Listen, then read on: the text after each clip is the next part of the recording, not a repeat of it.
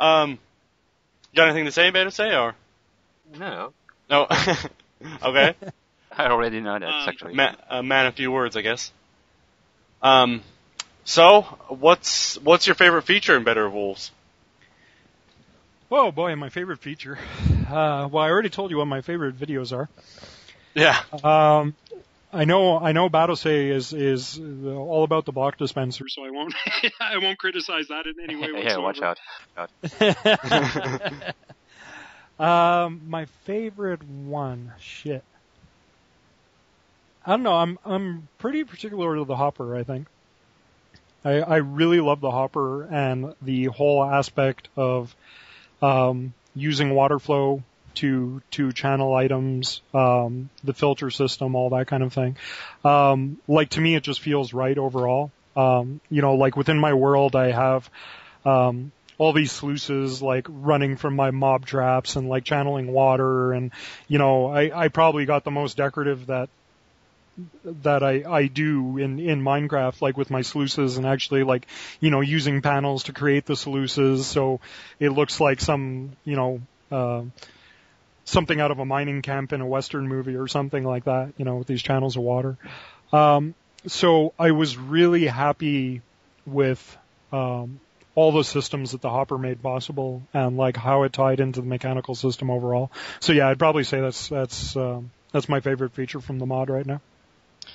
and I'd have to agree with uh, you because I, lo- I loved your description of it. I, I don't have it pulled up right now, but you you uh, I think you said that it was deceptively simple because it's literally just a box with a hole in the middle. Yeah, But- yeah, exactly. But what it allows is just way more. And that's Yeah. and th- those are the type of things I love. That are you, you look at them, that's like you, you don't think that it could do a lot, but when you actually start using and working with it, it's just it's fantastic. Yeah, and that's the, uh, I I agree 100%. You know, like I I love that kind of simplicity. Um, you know, like when I uh, I guess Pistons came out like shortly before I released Better Than Wolves. I might, I might be I might be wrong on that, but I know the the Piston mod, um, which I actually never used in the mod form. Um, you know, but when I saw the videos for it and that kind of stuff, um, like the elegant simplicity of that block, I think acted as a lot of inspiration for me in um, uh, in the overall design of the mod. Um, because I, I thought it was absolutely fucking brilliant when he came up with that thing, you know, like, um, just, just so easy, made so much sense, you know, whatever frustrations I may have with like integrating pistons into the design of Better Than Wolves, like, that has nothing to do with my opinion of pistons themselves, like, I think they were absolutely fucking brilliant. Mm. Um, so yeah, I agree with you 100%, like, you know, blocks with like multiple subtle uses are definitely a favorite of mine. Um, and it's definitely something that, um, I always try to go for in my designs, um, to varying degrees of success. Um, and I think, well, no, like everything, you know, like you have good ideas, bad ideas, and everything in between, you know. Mm. Um, and I think, I think the hopper was definitely one of the, one of the better ideas that I had along the way. Okay. Um, so I guess next question. Uh, Given unlimited time, would you advance Steve up to space technology, or is there a technology end point before that? No, man, I like there's really no um, endpoint that I have in uh, have in mind at all uh, for the mod in terms of technology. You know, like I've, um, I guess I've been a bit harsh on my criticism of other mods. Um, you know, in terms of technology level and stuff like that, but that actually has nothing to do with technology so much as continuity. Um, you know, like I don't even know what to call like the base technology level of Minecraft, like kind of Stone Age. Um, you know, it's obviously very primitive. You know, like you're you're strapping rocks to a stick and like mining and Mm.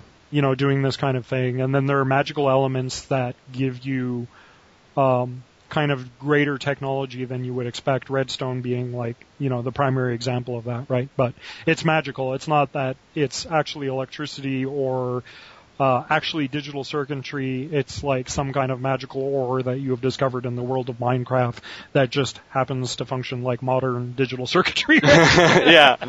you know, so it's cool. It's the same thing with like the cauldron and, you know, the fire and the birthing nether rack and the nether coal and yada yada yada. You Mm. know, it's like, you know, at a certain point, like the, the laws of the Minecraft world are not our own. Um, so yeah, man, I really like keeping that in mind. I really don't see any limit to to the technology. I think, um, I think the magical element is a cool one. Like it provides kind of an alternate alternative world, um, a timeline to kind of technological development in which these huge technological leaps that would take humans hundreds of thou- or thousands of years can suddenly be made because you know like you managed to find a gateway to hell and you're bringing back like you know the substance of hell to aid you in construction. So you're able to like enslave souls to create concrete you know Yeah. all that kind of crap. Like you know i think that's a really cool element of of minecraft. Um that magical aspect because it allows you to explain like these quantum leaps of technology in ways that wouldn't otherwise be possible. You know, it's kind of like the 2001 thing with the monolith. You know, it's like the monolith shows up and all of a sudden Steve is, you know, firing laser beams out of his eyes. you know, yeah. so um, no, I don't see any limit to it, man. Like I know, I know, Notch has described Minecraft as, as a, Minecraft as a fantasy game before. Um, I really don't subscribe to that point of view. You know, like I I would have no problem at, at all like building spaceships into Better Than Wolves and traveling like to other planets, just as long as you had to assemble every single component of the spaceship to yourself. You know. yeah. So that's that's kind of what I mean. It's not a question of con- uh, technology level for me ever. It's a question of continuity. Okay. You know, does it make sense given the tools at Steve's disposal? You know, Okay. Um, you know, like I mentioned, like to people that were, um, you know, following the thread for a long time. You may have remembered a couple of months ago. Um, you know, I uh, we went off on a tangent about Steam in conversation. You know, like uh, Steam being a cool feature, and I said at the time, I think it was, um, you know, like if I to ever do another mod, I'd probably try choose to do a Steam mod, right? Because it's like, you know, a subject that absolutely fascinates me and I felt that like Steve was on the cusp of that technological discovery, you know, because you have stuff like the furnace carts in the game, Mm. you know, which kind of implies almost Steam. Like if that thing isn't a Steam engine, I don't know exactly what it is. Even though, like I said, it's kind of a broken feature, it Mm. still, it implies something, right?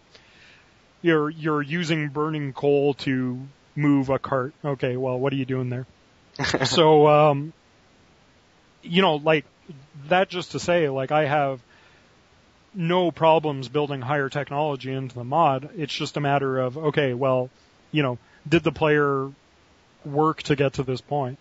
You know, like if I include, um, say for example, I came out tomorrow and decided, okay, we're going to have diesel locomotives in the game, right?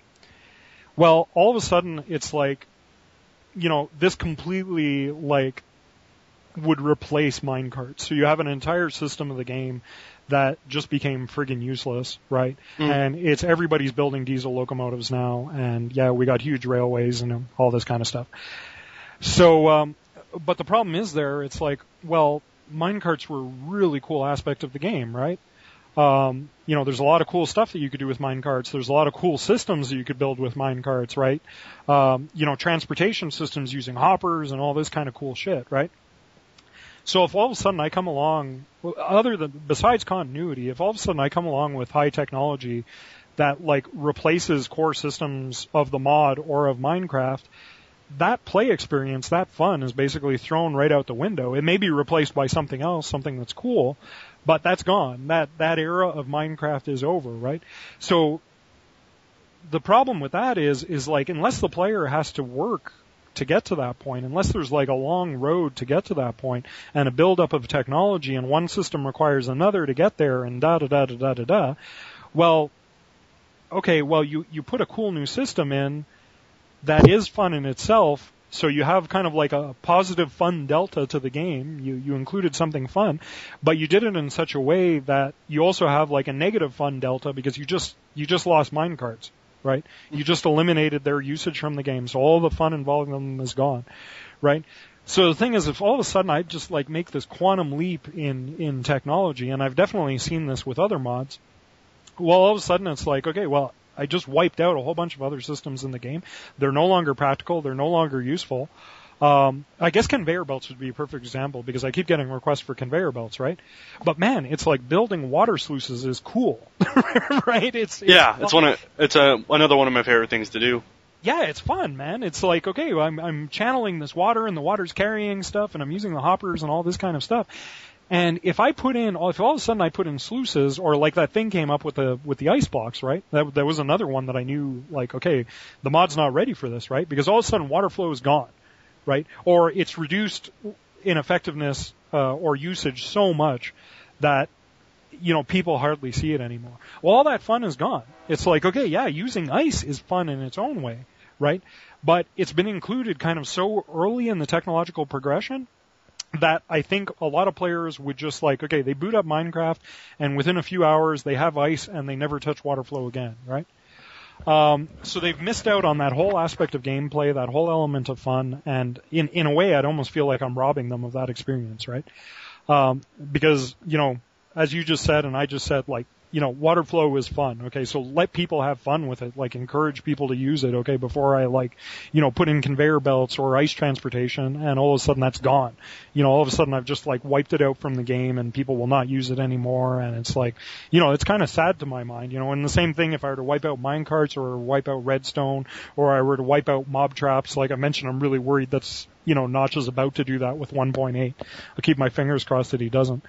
Um, but yeah, so it's not even a question of just continuity. Like continuity is definitely important to me, but it's also a question of like not spoiling people's fun in a lot of ways. You know, it's like let them enjoy the systems that are in place. Um, you know, and if they're going to get a replacement, like you know, hopefully it's going to be the kind of thing that, like, for the first 20 hours they play the game, they're dependent on water flow to get the job done, and eventually they build up their technology level to the point where, you know, I won't say, yeah, like, let's say conveyors or something is possible. It's not one of my plan, plans, but it's a good way to put it, you know. Mm. Um, so then maybe after 20 hours of play, all of a sudden they have access to conveyors and they no longer use water flow. Uh, but that's cool because they had all that fun with water flow. It's over, it's gone now, and you know we're on to something else.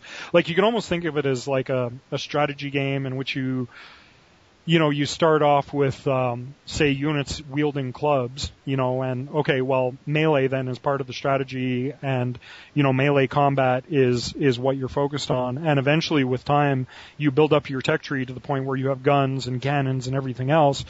Um, but it's taken you long enough to do it that you at least have the gameplay experience of using clubs first, right? Mm.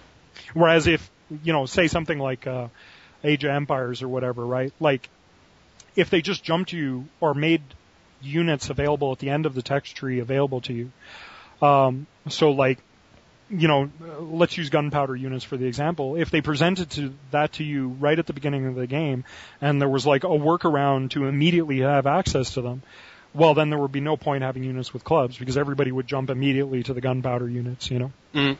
So yeah, that's that's that's my my thing on it.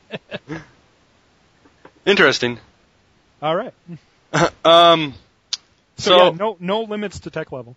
yeah, yeah, yeah. Just just as long as it suits gameplay and continuity, um, and gives a chance people a chance to have fun, like you know spaceships, lasers, whatever. I don't care. It's all good. Wow. Yeah. All right. Um. So we're getting we're hitting almost an hour mark. Holy shit! Yeah. I don't know. I don't know if anybody's going to listen to this thing. you may need to do some editing.